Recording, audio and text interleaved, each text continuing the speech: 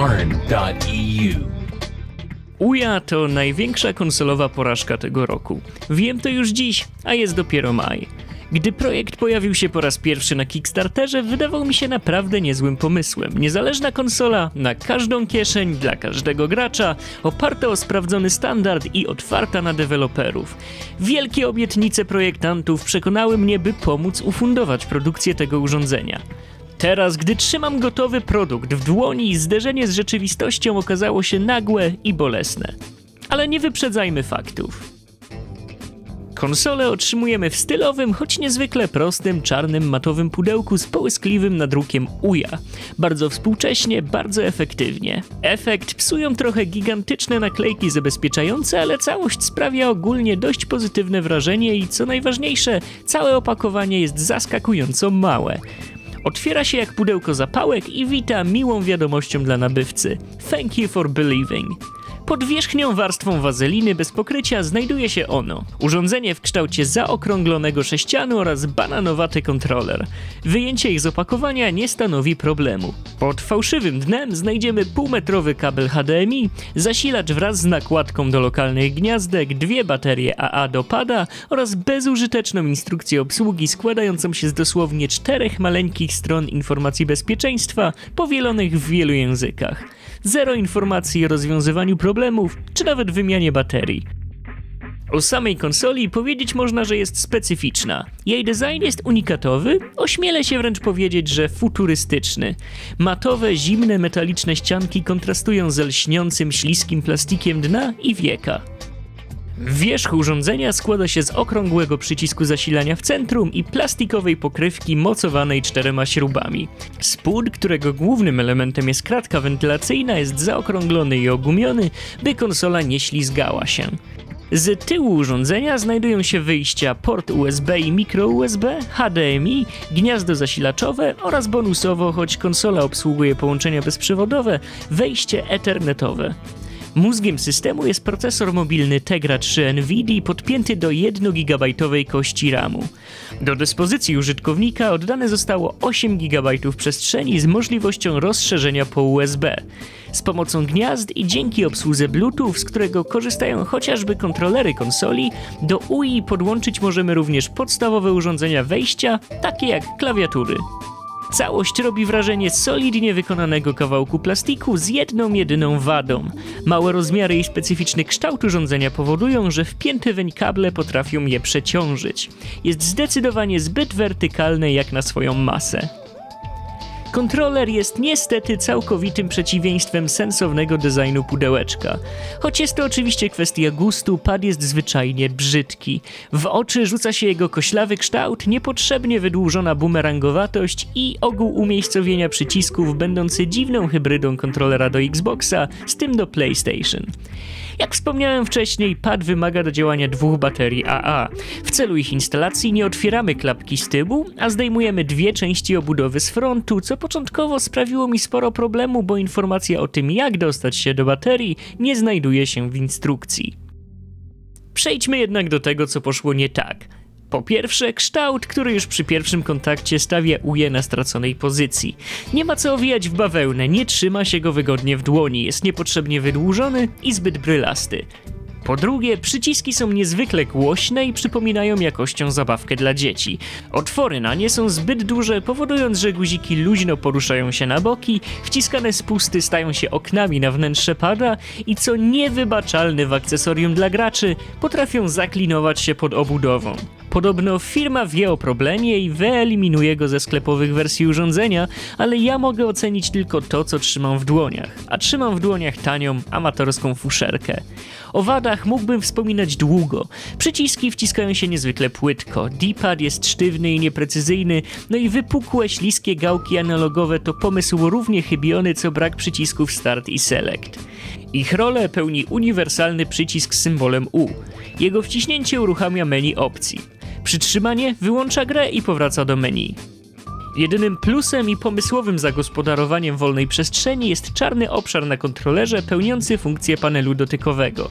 Symuluje on laptopowy touchpad i pomaga w nawigacji w grach i aplikacjach wymagających sterowania dotykiem. Ogółem jednak kontakt z tym akcesorium okazał się frustrujący i nieprzyjemny, szczególnie w kontraście z dobrze przemyślanymi padami domowych konsol i jest to pierwsza rzecz, na jakiej powinni skupić się autorzy przy rewidowaniu swojej maszyny. O wartości konsoli stanowi jednak jej biblioteka.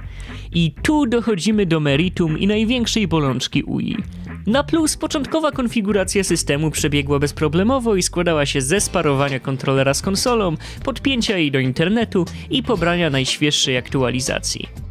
Aby korzystać z dobrodziejstw systemu, należy utworzyć darmowe konto, do którego przypisują się potem zakupione przez nas gry cyfrowe.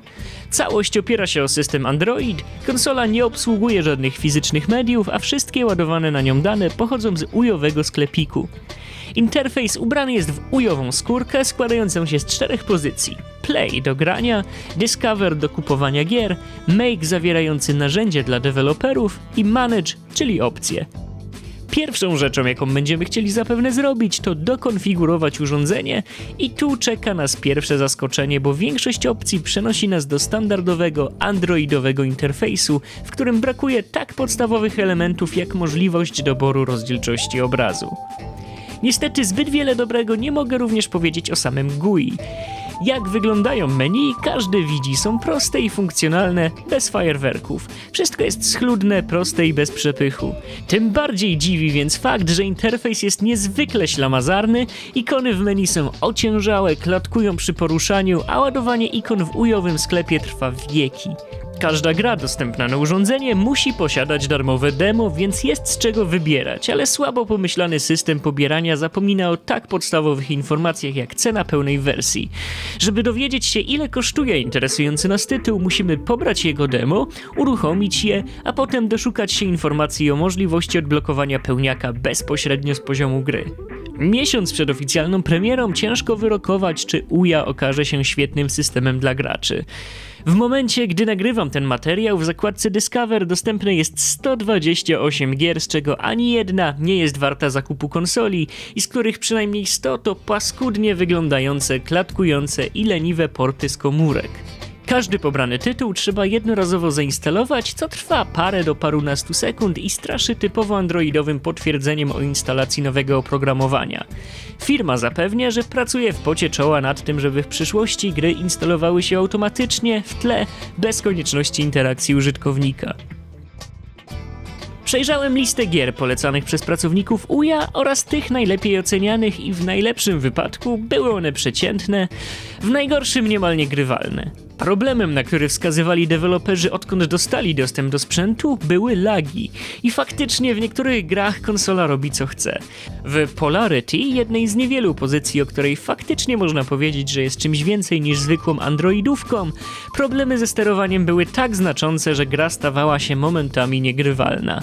Zdarzały się sytuacje, w których między wciskanymi przyciskami na padzie a reakcją gry mijała ponad sekunda, a czasami puszczenie klawisza nie przerywało wykonywanej akcji. Próba obrócenia się kończyła się w takich sytuacjach pięknym piruetem. O niewchodzeniu w przepaści nie mogło być mowy, a nawet najprostsze zadanie pokonania samouczka przypominało bardziej próbę chodzenia w prostej linii po suto zakrapianym weselu. Z drugiej jednak strony, gry wymagające mniejszej siły obliczeniowej, np. proste gry 2D, radziły sobie ze sterowaniem o wiele lepiej. Opóźnienie jednak automatycznie skreśla dla mnie UJE jako urządzenie do grania.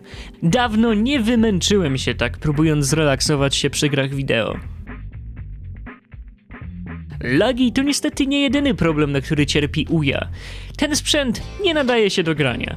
Starałem się wybrać możliwie najładniejsze gry dostępne na system i może wyglądają one ok na ekranie androidowego telefonu, ale w pełnym 1080p są reliktami czasów PlayStation 2. Obiecywano nam konsolową grafikę, zapomniano wspomnieć, że chodziło o Game Boya.